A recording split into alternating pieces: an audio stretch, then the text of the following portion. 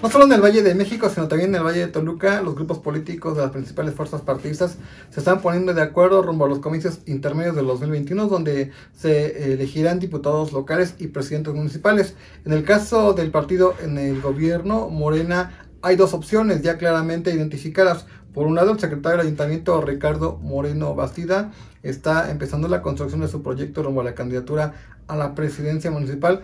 Sin embargo, también el alcalde en turno, Juan Rodolfo Sánchez Gómez, ha dejado ver que tiene la aspiración de competir por la elección consecutiva también el próximo año.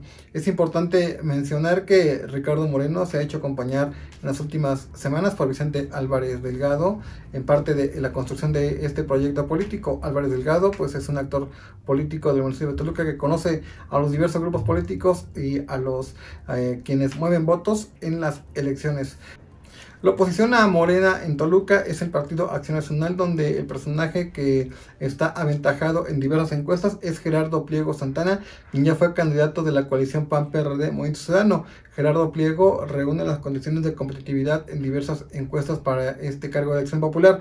Obviamente hay otros actores locales como Gerardo Lamas Pombo, quien ha sido regidor y en otro momento fue gente cercana a Juan Rodolfo Sánchez, quien también es mencionado en la, en la próxima definición de candidaturas. Sin embargo, no reúne condiciones de competitividad en términos de una presidencia municipal para enfrentar a Morena.